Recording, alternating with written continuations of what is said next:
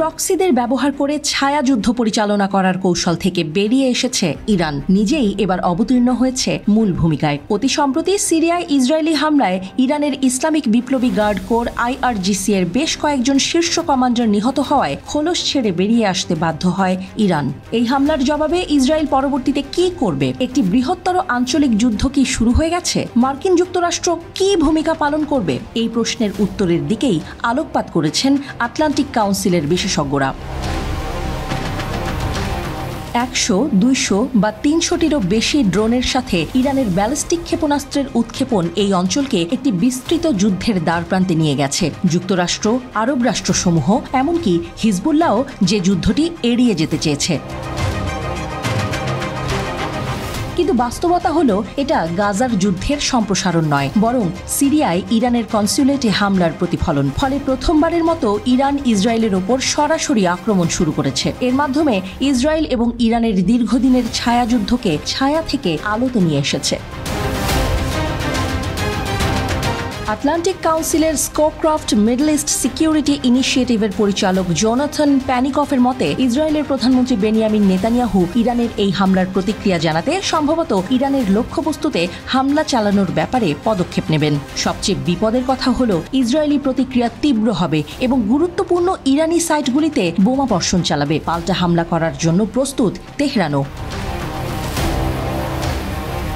ইরানের হামলা এটি একটি নতুন যুগের সূচনা করেছে। তেহরান এখন ইসরায়েলি যে কোনো আক্রমণের সরাসরি প্রতিক্রিয়া জানাতে আগ্রহী।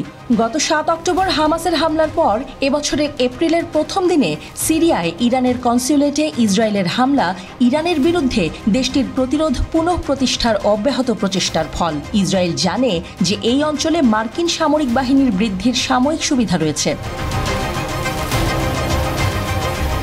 আটলান্টিক কাউন্সিলের মিডল ইস্ট প্রোগ্রামের স্কোক্রাফট মিডল ইস্ট সিকিউরিটি ইনিশিয়েটিভের সিনিয়র ফেলো ড্যানিয়েল ই মাউটনের মতে, আদতে এই মার্কিন বাহিনী ইসরায়েলের বিমানীতি মাত্র এক বছর আগে এই অঞ্চলে মার্কিন যুক্তরাষ্ট্রের সামরিক বিমান এবং যুদ্ধজাহাজের সংখ্যা কম ছিল।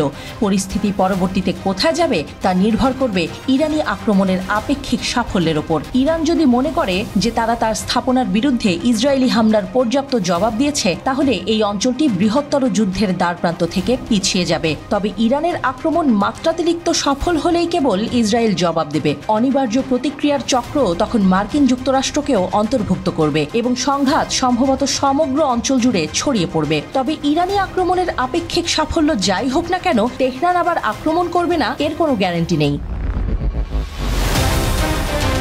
ইরানের ক্রমাগত হুমকি ছাড়াও দ্বিতীয় বৃহত্তম অমীমাংসিত সমস্যা হল স্বচ্ছতার অভাব।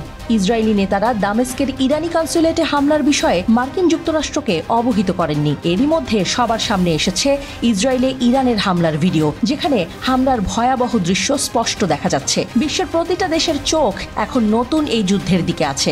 ইসরায়েলকে সাহায্য করতে অনেক দেশ তাদের পাশে দাঁড়িয়েছে। আবার অনেক দেশ ইরানকে সমর্থন করেছে।